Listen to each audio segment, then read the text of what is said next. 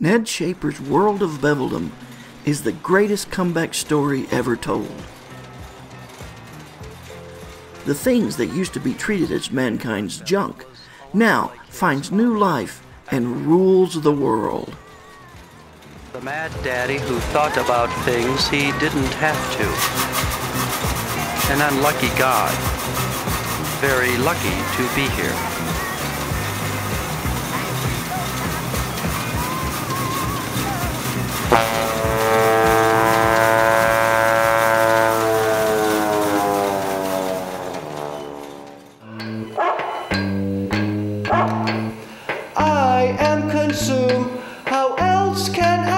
I it?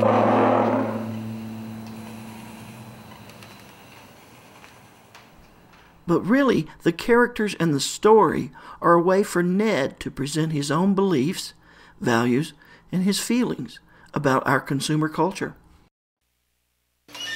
Hello, I'm General Lee speaking, Curator General of the Museum of Kinetic Art. The Museum of Kinetic Art was founded on the principles of available resource technology. Since the beginning, objects that had lost their way found their way to our doorstep and were given a new life in theater as characters, costumes, and instruments of the Mat Bevel philosophy.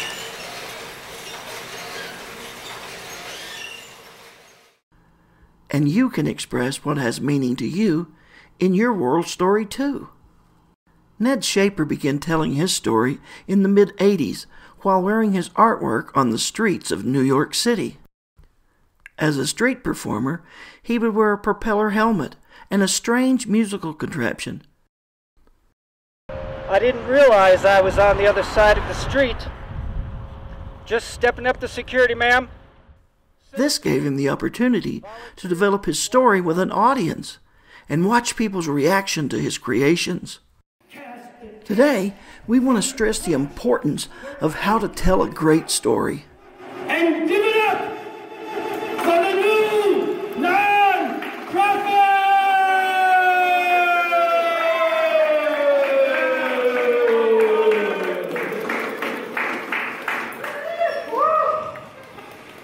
Thank you. We're going to bring together meaningful elements of your world using what you've created through your doodles, your headgear, and now your story. We're going to help you refine, organize, and present your original ideas in a storyboard so you can communicate what's meaningful to you. What's the story in your world? Is yours a comeback story? Is it a quest? Are you seeking justice? What is the tone? Is it lighthearted or dark?